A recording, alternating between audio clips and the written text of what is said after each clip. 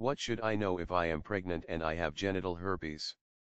It's normal to be concerned about the health of your baby when you have any type of STD. Genital herpes can be spread to your baby if you have an active outbreak during a vaginal delivery.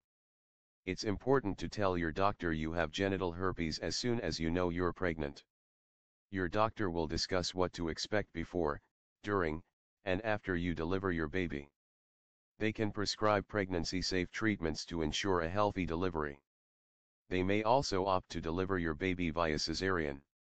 Genital herpes can also cause pregnancy complications like miscarriage or premature birth.